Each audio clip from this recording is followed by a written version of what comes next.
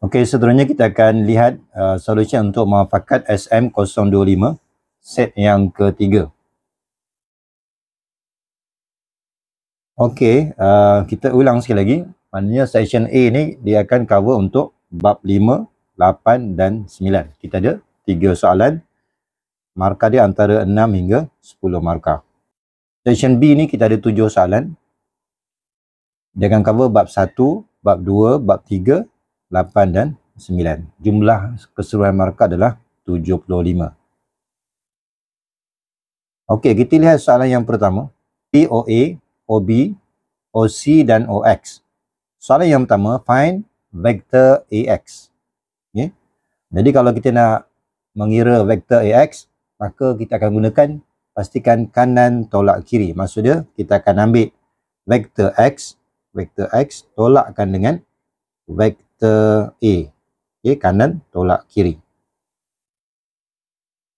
So OX negati 2, negati 2, 5. Kemudian kita ada vektor A adalah negati 8, negati 4 dan 2. So kita permudahkan. Jadi pengiraan kita dalam bentuk column matrix itu lagi mudah. Dan jawapan akhir pastikan dalam bentuk IJK. Selalunya penulisan kita masih ada wave kat bawah ni lah. Itu ha, penulisan yang lengkap. Kalau kita nak menggunakan huruf A, X dan huruf besar AX, maka kita gunakan anak panah atas. AX tu ada anak panah ke atas. Okey. Okey, jadi kalau kita nak tunjukkan AX ni adalah straight line, maka kita perlu tunjukkan, okay, katakan AXB ya. Katakan saya buat uh, satu line AXB. Katakan saya buat lakaran ni. Dan kita punya point kita adalah katakan sini A, sini X, yang ini adalah B. Okay. Jadi kalau kita nak tunjukkan AXB ni adalah straight line, maka kita boleh gunakan kaedah parallel. Okay. Kita boleh gunakan kaedah parallel dan kita boleh ambil pilihan AX tu sama dengan sama dengan AB tapi adanya constant. Ha, sebab kita guna konsep parallel. Jadi kalau kita buktikan AB ni adalah parallel dengan AX, maka kita boleh tunjukkan AB ni dia akan sama dengan satu constant AX. Okay? Ha, tapi soalan kata dia bukan nak tunjukkan parallel. Kita nak tunjukkan dia adalah straight line. Bila straight line, kita kena pastikan kalau kita pilih bermula dengan A, maka yang vektor yang kedua pun mesti bermula dengan A. Okay? Kalau kita nak tunjukkan parallel, so kita boleh pilih mana-mana.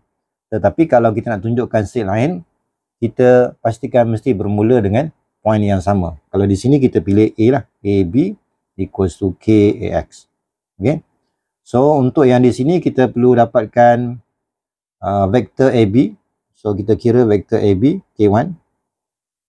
Dan kita tunjukkan AB ni dia sama dengan AX. Jadi kalau kita nak lihat K tu berapa? Punya AX kita 6. AX kita 6 dan sebelah kiri ni adalah 18. Maka dia mesti adalah 3 kali.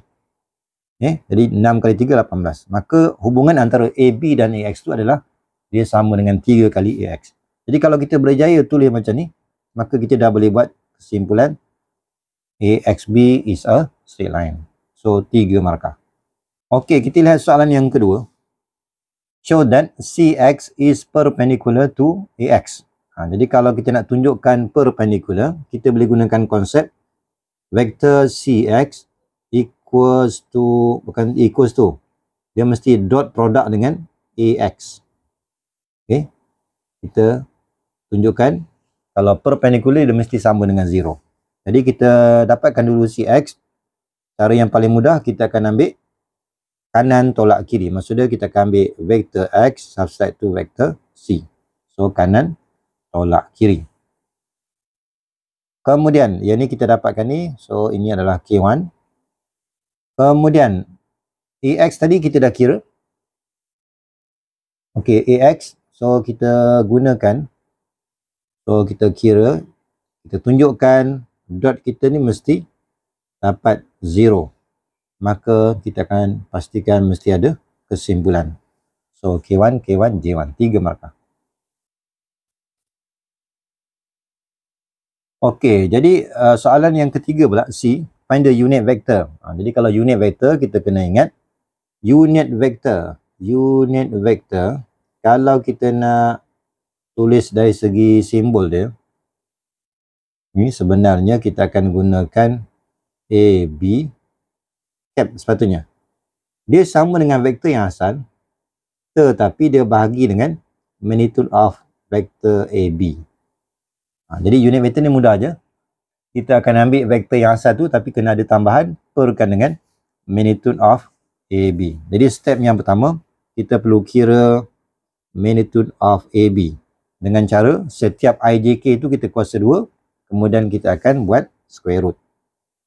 Okey, kemudian Okey, kemudian uh, so bila kita ganti nilai vektor dan magnitude ini adalah kaedah K1 dan jawapan. Okey. Ha, jadi setiap setiap IJK itu kita kena bagi dengan magnitude. So kita akan dapat 3 markah. Okey, soalan yang kedua. A continuous random variable x has the probability density function. Jadi untuk soalan ni dia ada bincang uh, perbincangan ni adalah continuous. Okey. Uh, so continuous kita kena ingat bila kita buat pengiraan mesti menggunakan integration. So kita nak mencari constant. Ha, setiap kali kita nak mencari constant, kita mesti gunakan integration. Kita akan integrate semua nilai x yang ada. Kita pastikan mesti samakan dengan 1. Kalau discrete, kita akan gunakan summation. Jadi kita akan integrate sebabkan kita punya interval 2 sampai 3 je.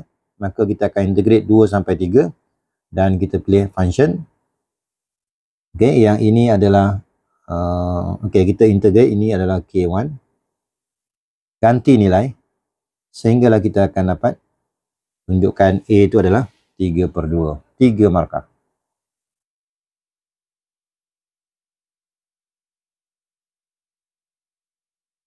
Okey, soalan B pula. Find the cumulative distribution function. Okay, ha, jadi kalau kita nak dapatkan cumulative, simbol dia adalah F besar, Fx besar. Jadi cara yang paling mudah, kita mesti bermula dengan number line dan kita senaraikan semua sempadan yang ada. Sekarang kita ada sempadan 2 dan 3. Maka bila kita nak kira untuk kumulatif, pastikan kita mesti bincang 1, 2, 3 kawasan. Jadi bermula dengan kawasan yang pertama, x less than 2. Okay? x less than 2. Ha, so yang pertama biasanya mesti zero lah. Ni yang pertama. Kemudian kawasan yang kedua. Ha, bila kita berada pada kawasan yang kedua, disebabkan ini adalah kumulatif, kita mesti jumlahkan daripada yang pertama. Ha, tapi disebabkan yang pertama tu zero, maka kita boleh abaikan. So kita boleh fokuskan kepada sepatutnya kita akan integrate 2 sampai 3. Tapi kita nak function. Maka 3 ni kita akan tukar kepada x. So kita integrate maka kita akan dapat function yang baru. Kemudian kita teruskan dengan kawasan yang ketiga. Kawasan yang ketiga yang ni.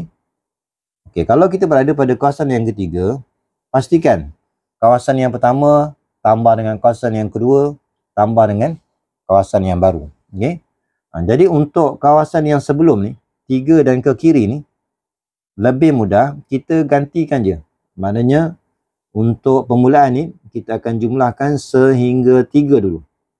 Sehingga tiga dengan cara kita akan ambil nilai F3. Okay. Kita akan gunakan nilai F3. So kita akan ambil F3. Kemudian F3 tambahkan dengan sepatutnya kita akan buat 3 sampai infinity. Tapi disebabkan infinity itu yang terakhir, maka selalunya kita akan gunakan sehingga X. Okay, kita gunakan sehingga X. Okay, sehingga X. Jadi F3 ni, kita gunakan kumulatif yang sebelum ni. Maksudnya, function yang sebelum ni, ni, uh, function yang sebelum ni, kita akan gantikan nilai 3. Jadi, uh, kejap ya. Jadi, function yang sebelum ni, kita akan gantikan dengan 3. Okay, kita gantikan dengan 3, maka kita akan dapat nilai keseluruhannya adalah 1. Integrate of 0, 0. So, jumlah dia adalah 1. Biasanya yang terakhir ni mesti satu lah. Okay. Ha, so jawapan akhir kita mesti ada dalam bentuk function. Jadi dari segi markar ini. Okey. Yang pertama markar dia adalah kita mesti ada tiga interval. Satu, dua, tiga. Dan kita buat pengiraan. Yang pertama mesti zero. Kemudian untuk kawasan yang kedua, tunjukkan pengiraan K1. Kawasan yang kedua. Kemudian, uh, okay, untuk kawasan yang ketiga, okay, kita kira lagi. Kemudian yang ini adalah J1. So, kita ada empat markah. Okay, empat markah. Kemudian hence. Uh, pastikan bila jumpa je perkataan hence, maka gunakan kumulatif yang kita kira walaupun salah. Kemudian soalan nak cari find the median. Okay, median disebabkan ini adalah satu je interval, maka tak payah kita check. Okay, kalau kita ada function tu ada dua kawasan, maka kita kena pastikan kawasan yang pertama atau yang kedua berlakunya median. Tapi untuk soalan ni, kita terus andaikan median tu di antara dua dan tiga. Okay, ha, so kita ambil je syarat FM sama dengan setengah. Kalau setakat tulis formula, ni tak ada markah eh. Kita ganti nilai M dalam formula. So yang ini kita akan dapat. So yang ini uh, rujuk kepada fx. Uh, rujuk kepada sini. So kita gantikan samakan dengan setengah. Kalau kita bincang find the first quartile, uh, maka kita samakan dengan satu per empat. Okay, kemudian kita proses sehingga dapat kuadratik dan pastikan jawapan dia adalah satu saja iaitu 2.618. Sebab kita punya M tu antara 2 dan 3. So jumlah markah adalah 7. Okey, kita lihat soalan yang ketiga. Okey, uh, maklumat dia adalah the marks obtained in a mathematics examination follow the normal. Untuk soalan ni, daripada awal lagi dah disebut ini adalah normal. Jadi bila soalan tu sebut normal, tak perlulah kita buat CC ataupun continuity correction. Okay, so kalau lebih mudah selalunya kita tulis. Maklumat yang pertama adalah maklumat mean.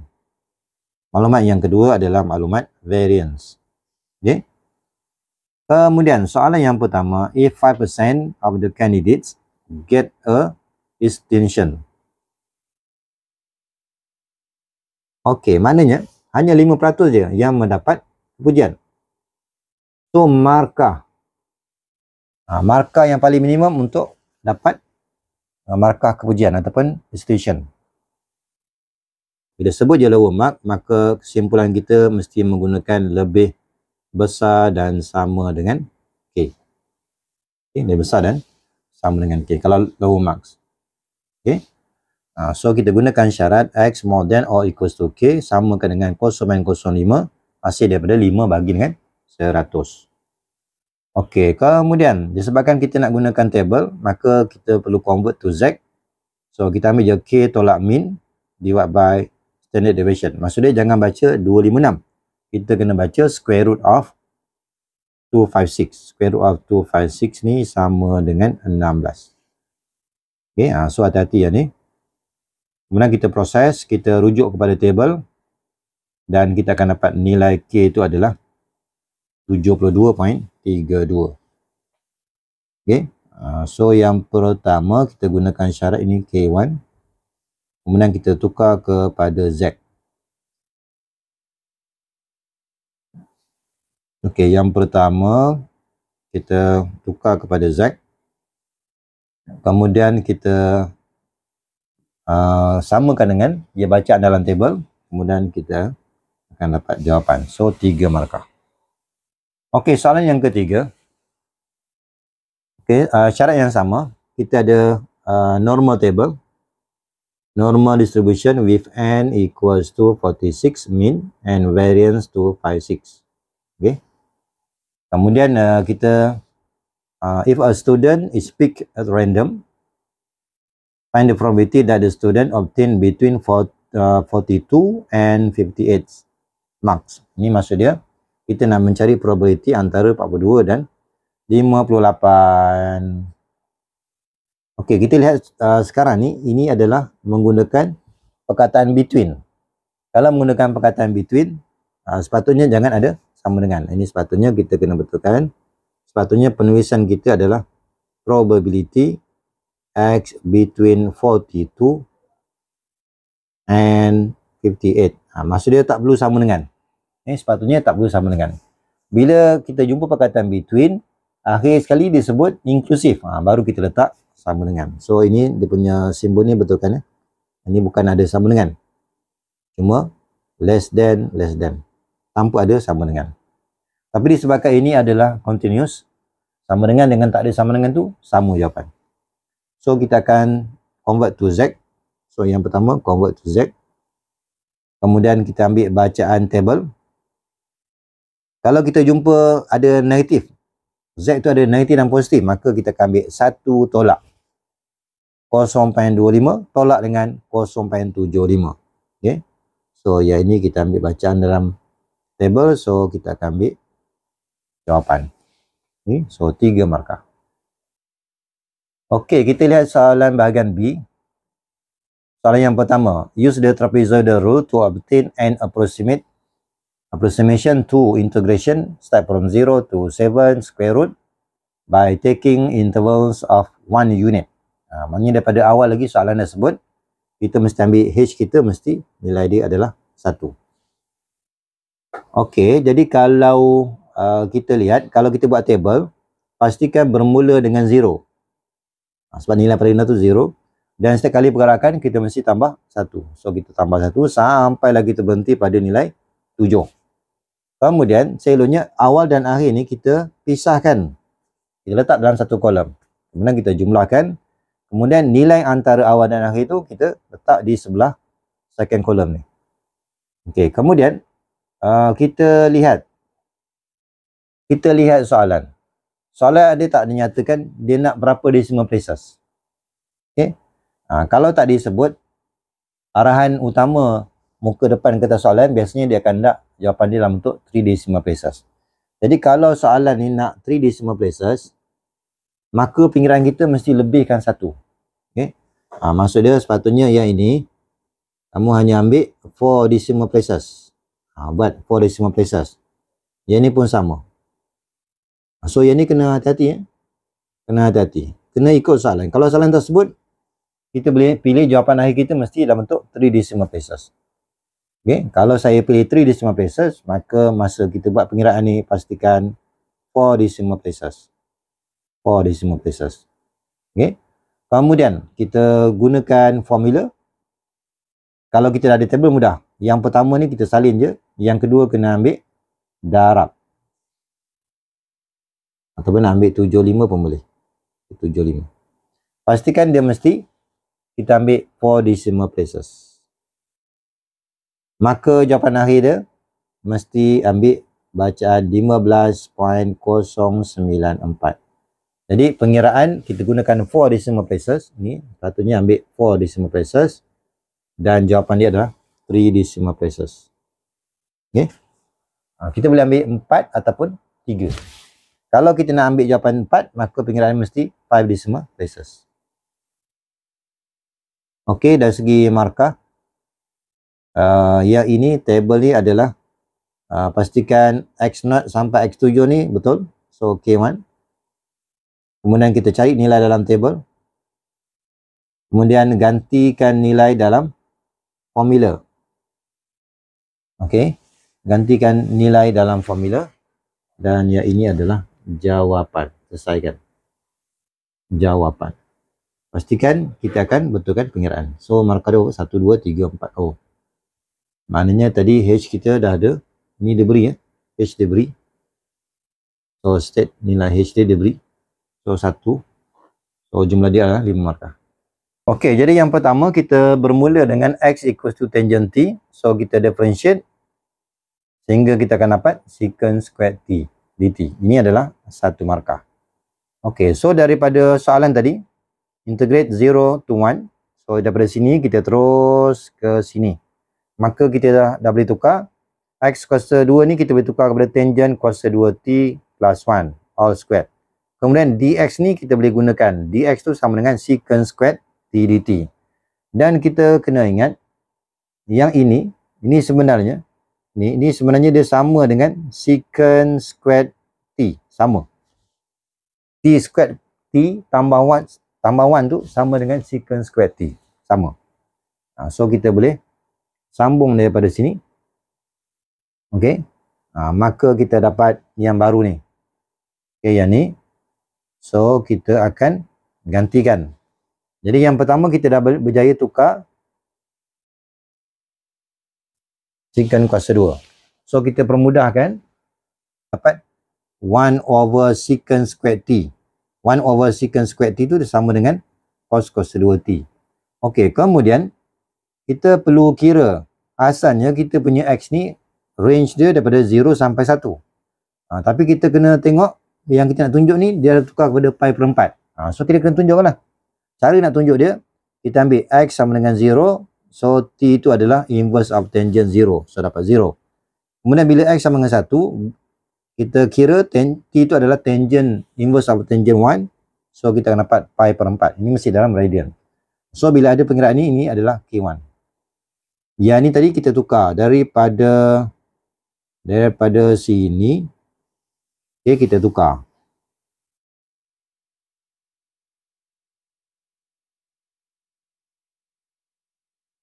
so kita tukar dalam sebutan T K1 kemudian kita akan dapat jawapan cos kuasa 2 T. Okey, kemudian soalan seterusnya kita nak hence. Hence. Hence kita nak dapat exact value of 1 over x squared plus 1. Uh, ah, so sambung daripada yang tadi. So kita perlu integrate yang daripada sini tadi. Kita perlu integrate sebab hence. Uh, so sambung pada sini. Bila kita nak integrate cos kuasa 2, memang tak boleh. Kita kena tukar kepada dengan menggunakan identiti yang tanpa ada kuasa 2. So rujuk kepada formula identiti cos 2t equals to 2 cos squared t minus 1. Sebenarnya cos double angle ni dah ada tiga formula. Ha, so untuk di sini kita pilih semua dalam sebutan cos. Maka kita tukar, tukar je kita dapat K1. Kemudian kita integrate dapat K1. Kemudian ganti nilai bermula dengan pi per 4. Ni pi per 4 darab 2 dapat pi per 2. Okey, so kita proses gantikan nilai pi per 4 dan 0, K1. Kemudian kita jumlahkan dan jawapan akhir adalah J1. So jumlah markah adalah 9. Okey, untuk soalan nombor 3. Soalan 3A. The curve y squared equals to 12 multiplied by 3 minus x in the first quadrant. Ha, ini kalau kita buat lakaran, pastikan dia berada pada first quadrant y kuasa 2 sama dengan 12 darab 3 tolak x. Okay. Yang ini bentuk dia sebenarnya dia bentuk C terbalik. Ha, so kita lakarlah ini adalah C terbalik. Ha, sepatutnya kalau kita macam itulah. Tapi dia akan bincang is uh, A is a region bounded A is a region bounded by the curve and x-axis. Maksudnya kawasan kita yang kita nak bincang ni adalah berada pada first quadrant. Okay. Uh, so yang ni perlulah, perlu ada ni supaya kita boleh buat lakaran. Kemudian area ni pula kita boleh pilih sama ada nak buat integrate respect to x ataupun y. Kita perlu pilih salah satu. Uh, kalau area boleh pilih salah satu. Kalau katakan kita nak pilih X, maka kita perlu integrate daripada 0 sampailah 3. 0 sampai 3. Jadi kalau kita pilih integration respect to X, maka yang ini mesti pilih Y sebagai tajuk. Y sebagai tajuk. Okay. Jadi kalau nak pilih Y sebagai tajuk, maka kita akan ambil uh, ini asalnya Y kuasa 2. So kita akan ambil square root of 12, 3 tolak X mesti buat square root. Okay. Uh, so kita tulis, sini kita boleh expand. Kita integrate, okay, ganti nilai 3 dan ganti nilai 0. So kita akan dapat nilai dia adalah 12, 5 markah. Okay. So yang ini perlu ada pengiraan supaya kita boleh nampak nilai sempadan dia ataupun kita boleh nampak dia punya lakaran dia. Lakaran ini tak wajib. Eh? Ini untuk kemudahan kepada kita. So bila kita nak integrate, so kita integrate lah 0 sampai 3. Tapi kalau katakan kita nak gunakan area ni, saya nak guna formula respect to y maka kita jadikan x sebagai tajuk maka kalau kita integrate respect to y kita ambillah 0 sampai 6 dia boleh pilih salah satu ambil formula pertama ataupun yang kedua Okey, kemudian kita pilih formula yang sesuai. So, ini adalah K1. Okey, kemudian kita integrate. Masukkan nilai. Dan kita akan dapat jawapan 12. So, 5 markah. Okey, kemudian soalan yang kedua, kita nak mencari volume. Okey, region yang sama. Okey, region yang sama. Ha, tapi kalau volume ni, dia perlu pilih formula yang betul bergantung kepada dia rotate about x axis. Ha, kalau x axis masa maka formula kita mesti integrate respect to x. Kalau kita buat respect to y salah. Okey. Ni formula asal kita. Dan bila kita guna dx kita ambil 0 hingga 3. Okey. Ha, so y kuasa 2 kita boleh ambil daripada sini. Ataupun selepas kita expand kita akan dapat 36 tolak 12x. Okey, kemudian kita integrate masukkan nilai dan jawapan. Okay. Ha, so, ini K1. Ini K1. Kemudian kita integrate, masukkan nilai dan jawapan. Pastikan mesti ada pi di depan. Untuk soalan C pula. Okey, untuk soalan C pula. Kita nak kira volume tapi kita punya uh, putaran kita about y axis. Ha, maka formula kita kena tukar lah. Kena tukar. Mesti guna pi. Mesti uh, integrate respect to y. Tapi yang di sini mesti x kuasa 2. Ha, so kita kena ubah soal lah. Daripada y. Daripada y. Kuasa 2 sama dengan 36 tolak 12x. Kita perlu jadikan x sebagai tajuk. So kita akan dapat uh, 36 uh, ok ataupun kita boleh tak nak expand pun boleh juga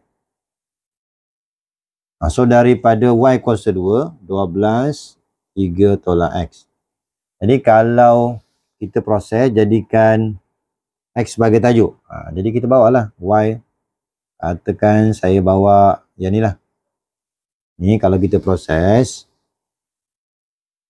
Okay, Katakan ni saya proses y kuasa 2 per 12 sama dengan 3 tolak x. Maka kita proses dapatlah x 3 tolak y kuasa 2 per 12. Uh, so ini adalah K1. Kemudian ni selalunya kita expand lah. Kita expand. Selepas tu kita integrate. Bila integrate ganti nilai dan kita akan dapat jawapan. Okay, ini tadi K1. Okay, ha, kita perlu expand. Kita boleh integrate terus, kena expand K1. Kemudian integrate K1. Ganti nilai bermula dengan 6. Kemudian jawapan. So, 5 markah. Okey, kita lihat soalan nombor 4.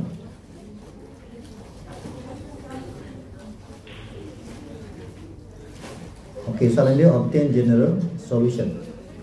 Kalau general solution, maksud dia jawapan dia mesti ada constant. Dia mesti ada constant. Kalau katakan vertical solution, nah itu adalah antara x dan y. Okey, yang pertama kita lihat soalan ni. Dia ada berapa sebutan? Yang ni satu. Yang ni dua.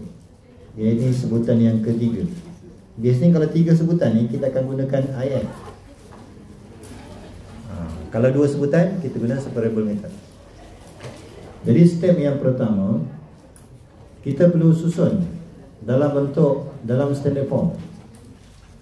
Pastikan sebelah dia dx itu jangan ada sebarang nombor ataupun x ataupun y.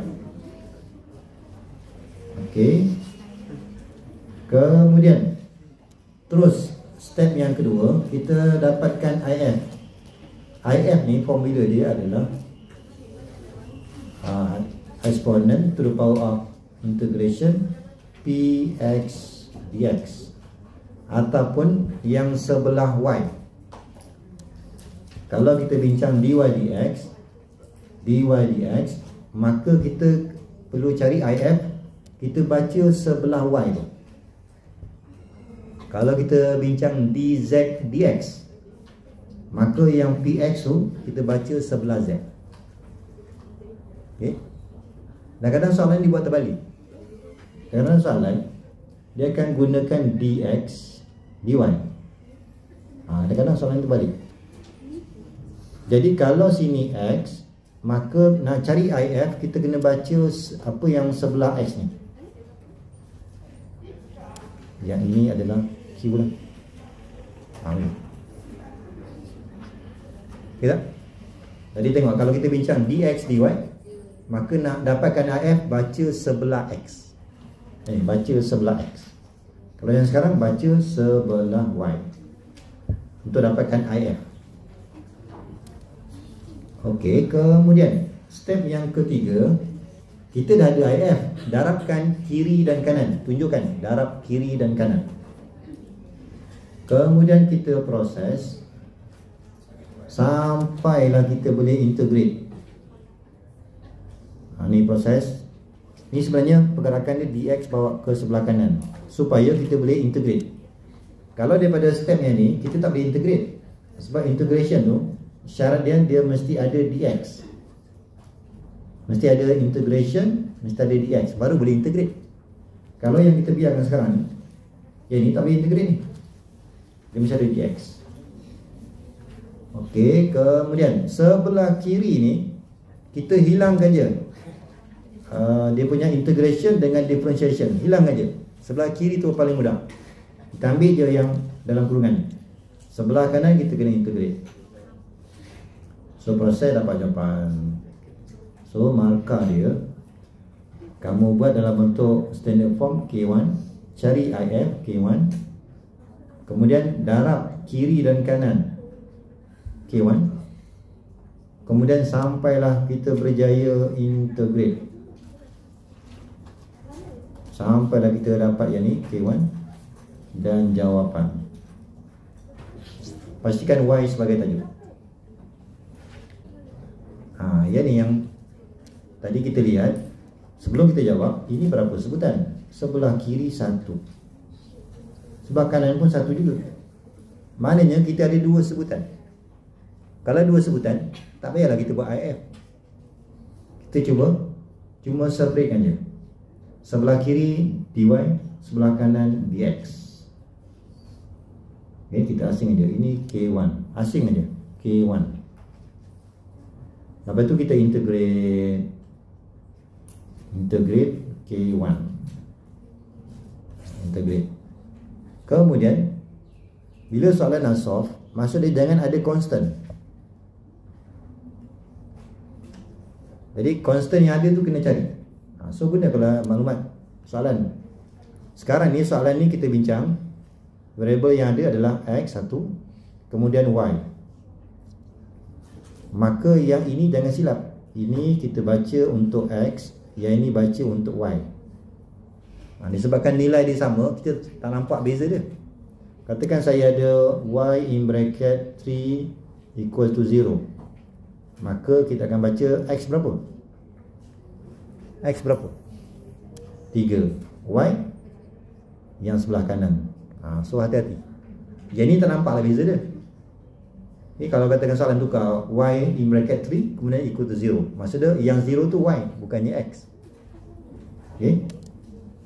So Kira untuk dapatkan constant uh, Gantikan semula. K1, K1, K1 Okey, kemudian Kita nak jadikan Y sebagai tajuk Mesti tunjukkan Kena ambil lon kiri kanan. Kalau tak ada lon kiri kanan Y tu tak boleh turun Okey Kemudian jawapan 5 markah Okey Jadi K1 yang pertama Kita pisahkan K1 yang kedua integrate K1 yang ketiga cari nilai konstan. K1 yang keempat tunjukkan bagaimana kamu dapat Y tu. Lock kiri kanan. Okey, kita nak continuous random variable. Sebut je continuous, pengiraan mesti guna integration. ingat mesti guna integration. Kalau discrete kita akan gunakan summation. Okey, soalan nak daripada 0 sampai 2 yang diberi ni adalah probability density function. Yang ini biasanya memang kita akan gunakan simbol fx bukannya px ni sama juga ni dipanggil pdf juga ni pdf tapi kalau dalam discrete dalam discrete uh, simbol untuk pdf tu adalah dia menggunakan px sama dengan berapa Okey, so kita integrate lah. Ha, tapi kita kena hati-hati lah. Sebab kita ada dua fungsi kita ada dua fungsi. So kita lihat. Um, kita ada 0 kemudian kita ada 1 kita ada 3 soalan nak daripada 0 sampailah. Ha, ni 3 ni 0 sampai 2 sampai 2 ha, maka kita kena pecah lah kita kena pecah. Kawasan yang pertama Kemudian kawasan yang kedua. Jadi kena bila 0 sampai 1 Kemudian sambung 2 Sambung 1 hingga 2 Kita Dan fungsi dia berbeza. Ini tiga markah. So dari segi markah ni Kamu mesti pisahkan Mesti ada dua integration K1 Kemudian integrate dan ganti nilai jawapan. Tiga markah. Kita nak mencari expectation. Secara umumnya expectation ni kita mesti guna integration x darabkan dengan fx ha, cuma kita akan pecah banyak kalau melibatkan lebih daripada satu function. Macam ni lah jadi cara yang paling mudah Yang pertama Jangan baca 2x per 3 Kena baca 2x kuasa 2 per 3 2x kuasa 2 per 3 Kita darab siap-siap dengan x. Sama dengan ni Ini kita akan ambil 1 per 3 ni Biasa kita keluarkan. 3x tolak x kuasa 2 Darab terus. Formula asalnya x darab dengan function. Untuk penulisan darab terus. Ini kalau kamu tulis ni satu markah. Kemudian integrate. Ganti nilai. Sepatutnya ganti nilai. Bukan kita nak lihat nilai 2 per 9 tu. Selalunya ganti nilai. Maksudnya 2 per 3 in bracket 1 per 3 tolak 0 close bracket. Tambah 1 per 3 tunjukkan gantian. Nilai 2 3 darab 4 ataupun kita boleh ambil 12 per 2 tolak 8 per 3 tolak gantian nilai 1 tunjukkan itu adalah K1 maksudnya K1 bukan lihat nombor ni. Kita lihat gantian nilai tu. Boleh? Nanti dalam exam ni kamu tunjuk macam ni. 2 per 3 tunjukkan gantian 1 per 3 tolak 0 tunjukkan yang ni. Ha, yang K1 tu yang ni lah. Dia bukan nilai 2 per 9 tu Okay, seterusnya kita ganti dengan nilai X sama dengan 3 So 9 darab 3 27 Tulis 27 per 2 Tolak. Ganti dengan 3 kuasa 3 27 per 3 Tolak. Ambil nilai gantian 1 3 per 2 Tolak 1 per 3 Yang ni yang nilai K1 ni. Okay, K1 tu adalah Gantian nilai limit Atas dan bawah. Tunjukkan. Ini satu markah Kemudian yang lain tu semua guna kalkulator je. Tak payah nak tunjukkan detail. Tunjuk guna kalkulator terus bagi tahu jawapan.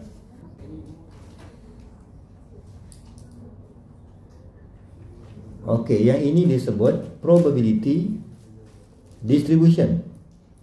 Ha, biasanya kalau kita lihat yang ni, ini mesti discrete.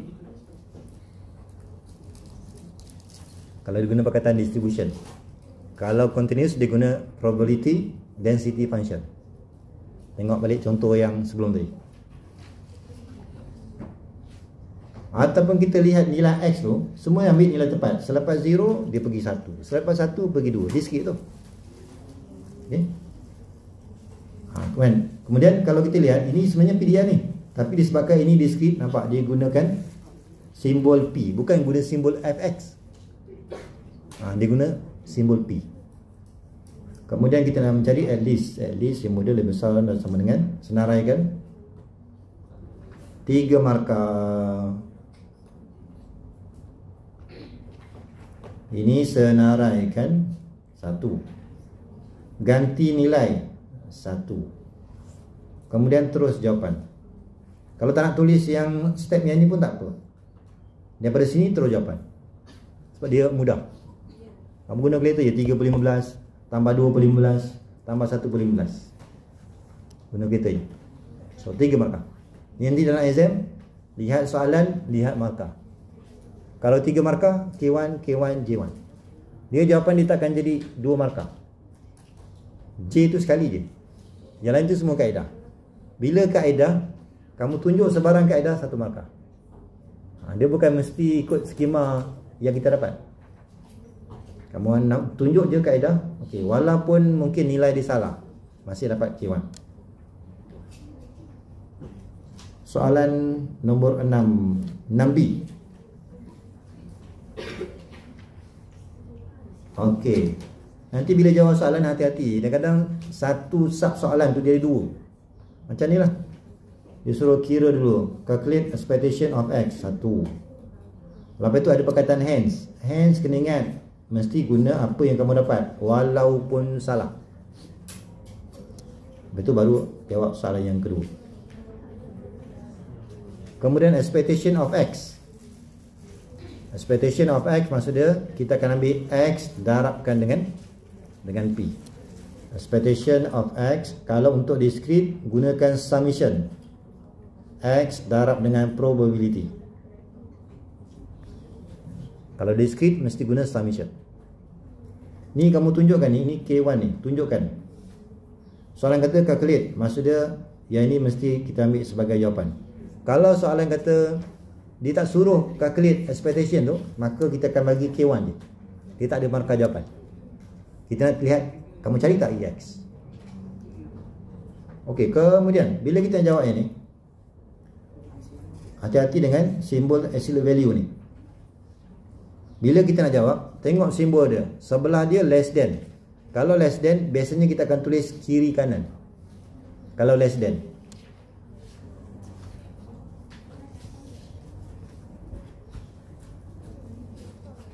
Okey. Ni ingat ni. Kalau kita select value less than maka kita boleh tulis dalam bentuk ada kiri ada kanan.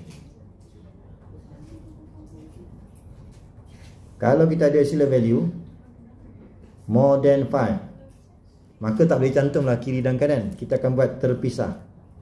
Probability x more than 5 and less than negative 5 gitu. Lihat simbol dia less than ke more than. Okey. Ha ini yang kita buat kiri kanan ni. Ini kalau kamu buat ni tiga markah. So ini K1. Hilangkan ini K1. Uh, kita akan lihat yang ni dia. Dia akan ada kiri kanan. Kemudian step berikutnya kita tak nak negatif 4 per 3 ni so kita akan ambil setiap sebutan tu kena tambah dengan 4 per 3 ni tambah 4 per 3 tambah 4 per 3 yang tengah tu tinggal X je kemudian senaraikan nombor dia kemudian jawapan walaupun kita lihat nilai dia di semua number tetapi selepas 0.1 mesti 1 kemudian kalau kurang pada 2.6 paling tinggi 2 ini tak akan jadi tiga. Sebab ini adalah discrete Okey, untuk 6C ni pula ha, Sama juga calculate expectation of x squared. Ha, Bila soalan tanya ni Maka Tunjukkan Kaedah Maksudnya tunjukkan 0 kuasa 2 1 kuasa 2 4 kuasa 2 3 kuasa 2 Bukan 4 kuasa 2 2 kuasa 2 3 kuasa 2 Empat kuasa dua. Tunjukkan. K1. Dan jawapan. Katakan nanti kamu guna kalkulator je ni. Terus jawapan boleh juga. K1 J1. Kemudian hence. Hence ni dia menggunakan apa jawapan yang kamu dapat. Kalau salah, gunakan juga yang salah. Mungkin kamu kira dapat 10 per 5 ataupun 10 per 4 contoh. Gunakan kat sini 10 per 4. Ganti nilai dalam formula. Setakat tulis je formula, tak ada markah. Ganti nilai dalam formula K1. Dan jawapan. Kalau katakan kamu kira yang di atas ni salah. Katakan 10 per 4 lah contoh. Salah. Maka kaedah ni dapat lah. Kaedah dapat. Kaedah dapat. Tapi jawapan kosong. Disebabkan ada perkataan hence, kamu gunakan yang salah ni 10 per 4 ni. Masih dapat K1. Tetapi jawapan kosong. Tetapi kalau katakan kamu kira sini 10 per 4 Tapi bila ganti kat sini Betul pula 10 per 3 Maka markah dia K kosong J kosong Ni ha, Sebab dia ada perkataan hence tu Bila ada perkataan hence Dia kena gunakan maklumat Apa yang kamu dapat Dia tak boleh ganti Walaupun gantian tu betul ha, Termakan dia macam Gunakan properties Ni Ni sepatutnya tiga markah ni. Mungkin nak bagi bonus kot. Kesian. Muka sedih kan. Ni sepatutnya tiga markah je ni. Sepatutnya K1 ni dia kat sini je. Terus tukar kepada. Uh, ni betul ke salah ni? Dia sepatutnya jadi apa? 2 kuasa 2. Yes. Ha. 2 kuasa 2. K1. Yang ni 0. Kemudian ini jangan biarkan 2. 2 kuasa 2. K1 Kemudian jawapan Empat markah Hati-hati ya Bila kita nak keluarkan constant untuk variance Mesti ada kuasa 2 Kalau expectation tak ada. Katakan saya ambil expectation of 2x plus 1 Ini akan dapat 2 expectation of x Dan tambah 1 Nanti kalau nampak je soalan sebut je average Ini adalah Poisson distribution.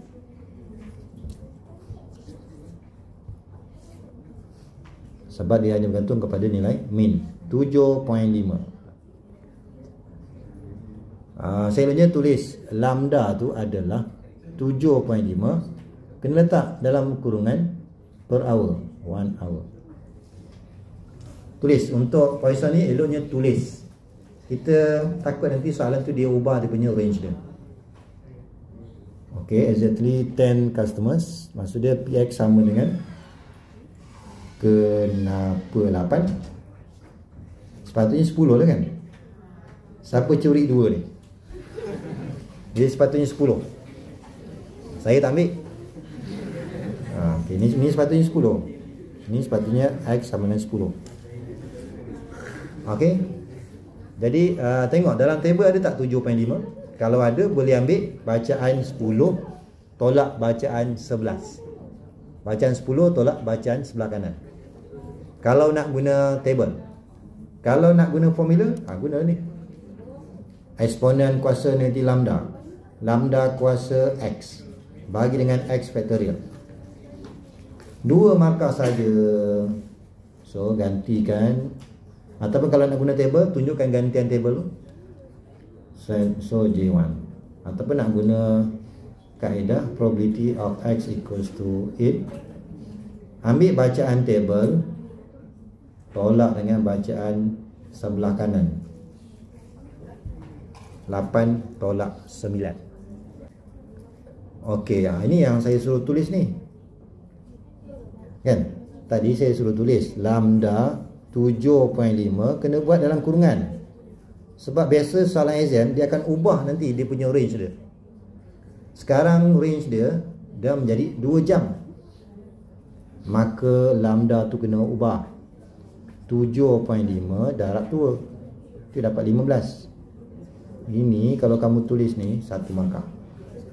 Lambda 15. Mesti guna lambda 15. Kemudian kalau kita nak baca table kalau kita nak guna table dia mesti menggunakan x more than or equals to satu nilai jadi utamakan yang lebih besar jadi kita kena pastikan simbol lebih besar dia ada sama dengan ni ada sama dengan. Yang sebelah kanan tu tak boleh. Jadi kalau saya guna less than nak ambil 11 ke nak ambil 13 supaya nilai dia sama dengan sebelah kiri. 13 bila kita dah berjaya buat macam ni barulah kita ambil uh, kiri tolak kanan. 6 tolak 13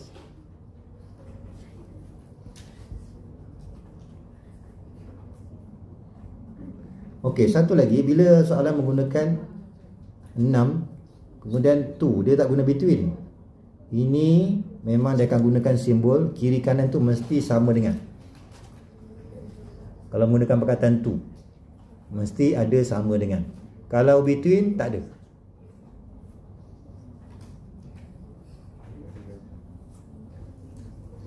Ni tukar ni satu. Kemudian baca dalam table mungkin ni tak sempat nak tulis tulis yang nilai je boleh juga ini J1 tiga markah dia menggunakan 20 minutes. Tadi lambda tadi. Lambda sama dengan 1 point 1.5. Oh ni yang baru eh? Yang lama lah kan? 7.5 untuk lambda 7.5 untuk 1 jam.